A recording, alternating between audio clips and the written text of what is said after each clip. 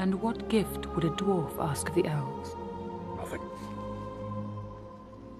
Except to look upon the lady of the Galadrim one last time. For she is more fair than all the jewels beneath the earth. oh. Oh. Actually, uh, there was one thing. Uh, uh, uh, no, no, no, no, I'm talking nonsense. Uh, It's quite impossible. Stupid. Taken my worst wound at this parting.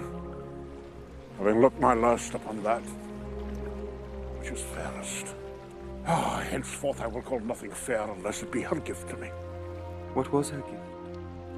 I asked her for one hair from her golden head.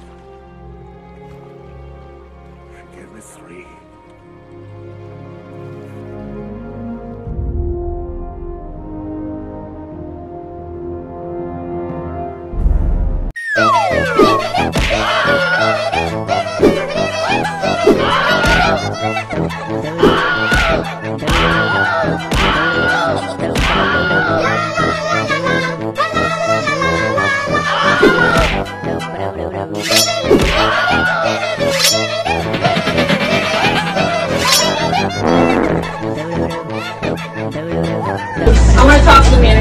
Oh my gosh, she is the worst.